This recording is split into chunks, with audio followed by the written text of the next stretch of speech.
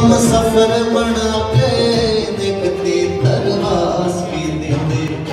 ਉਹਨਾਂ ਦਾ ਸਦਕ ਦਿਲੀ ਨੜ ਮੋੜੀ ਦਾ ਕਰਜ਼ ਲਾਜ਼ਮੀ।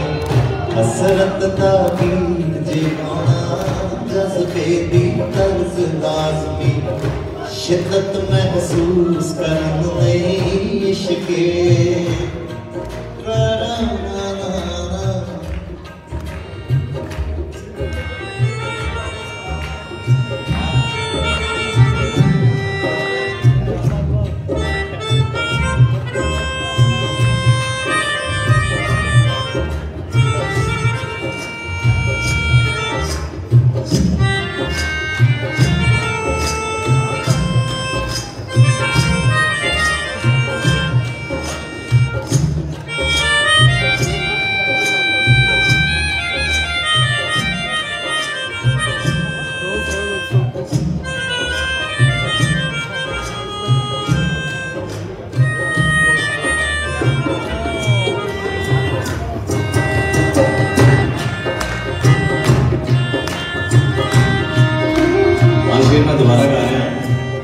ਮੈਨੂੰ ਆਪ ਨੂੰ ਚੰਗਾ ਲੱਗਣ ਲੱਗਾ ਤੁਹਾਨੂੰ ਸੁਣਾਉਣ ਤੋਂ ਬਾਅਦ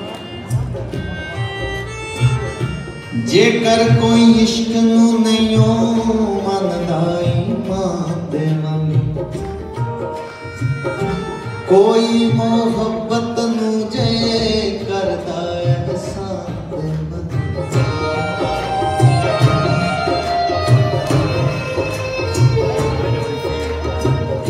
ਜੇਕਰ ਕੋਈ ਇਸ਼ਕ ਨੂੰ ਨਹੀਂ ਮੰਨਦਾ, ਈਮਾਨ ਦੇ ਵਾਂਗ ਕੋਈ ਮੁਹੱਬਤ ਨੂੰ ਵੀ ਕਰਦਾ, ਅਹਿਸਾਨ ਦੇ ਵਾਂਗ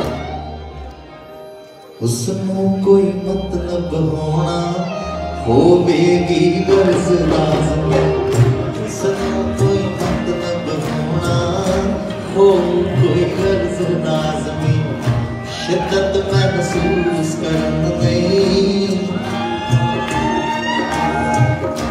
ਜੇਕਰ ਅਫਸਾਨੇ ਅੰਦਰ ਖਾਲਸ ਅਰਮਾਨ ਹੋਣਗੇ ਤਾਂ ਹੀ ਉਹ ਮਹਿਰਮ ਵਾਲੀ ਕਨਵਰ ਪਰਵਾਨ ਹੋਣਗੇ।